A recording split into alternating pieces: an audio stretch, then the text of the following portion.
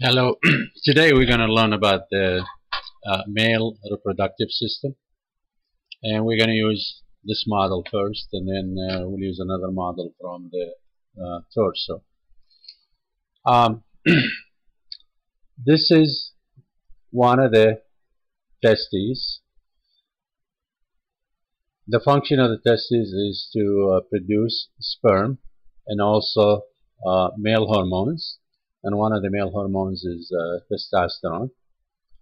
Uh, the testes is outside of the pelvic cavity and surrounded by the extension of the skin, which is the scrotum. The sperms will travel from the testes into this structure in here on top of the testes, which is the epididymis. They normally stay in the epididymis for a while and uh, go through a, a, process of maturation. Then they will travel through the tubular structure shown in here and uh, that is the ductus deferens also known as the vas deferens. It will pass through the abdominal wall through the opening known as the inguinal canals and uh, it will go on top of, uh, of the urinary bladder and extend to the posterior end of uh, the urinary bladder and uh, form this enlargement known as the ampulla of the vas deferens. Then they will uh, extend into a section known as the ejaculatory duct.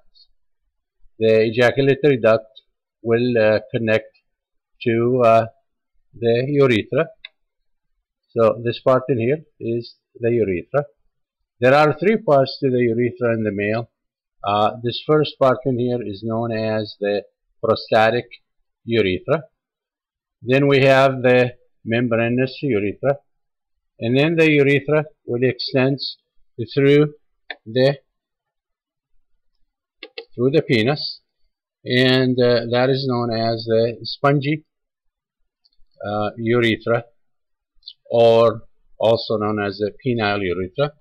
And it will open to the outside uh, through an opening known as the urethral orifice.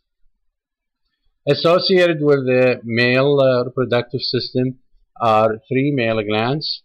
Uh, one of those glands is the prostate gland. Uh, the other one is the seminal vesicle, which is shown right over here. And uh, the third uh, gland is uh, located at the base of uh, of the penis and uh, that is the bulbourethral uh, gland. We're going to use also part of the of the torso that shows the male uh, reproductive system and uh, so we can see the two testes in here um, on this side here uh, we can see the epididymis and we can also see blood vessels in here associated with the ductus deferens. Uh, the ductus deferens along with the blood vessels and the nerves are known as the spermatic cord. Uh, if we follow the ductus deferens on, uh, on the lateral side in here, uh, we can see the uh, ductus deferens and uh, if we follow it it will uh, form the enlarged area in here known as the ampulla of the ductus deferens. And next to it in here is the seminal vesicle. If we uh, turn this model around uh, we can also see the uh, prostate gland and uh, this is uh, this is the rectum part of the digestive system Uh, this particular model, we uh, we can uh, uh dissect the penis and look at the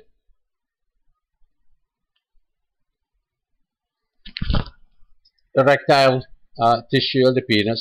So the, the two masses that we see on the top in here, these represents the corpora cavernosa. And in the center of each one is a deep artery that's associated with the blood flow to the erectile tissue and uh, erection of, uh, of the penis. The other model that we looked at before um, also shows uh, the anatomy of, uh, of the sperm.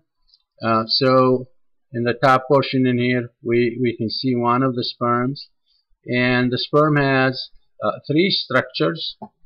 Um, the head portion, the, the mid piece, and the yellow part uh, represents the tail or the flagellum. The mid piece uh, contain mitochondria that supplies energy to the sperm. Um, the head portion uh, contains the nucleus that has all the genetic information from the male. And uh, then uh, um, the head is covered by uh, a structure known as the acrosome that will uh, release enzymes uh, used by the sperm to uh, penetrate the egg. That's the male reproductive system.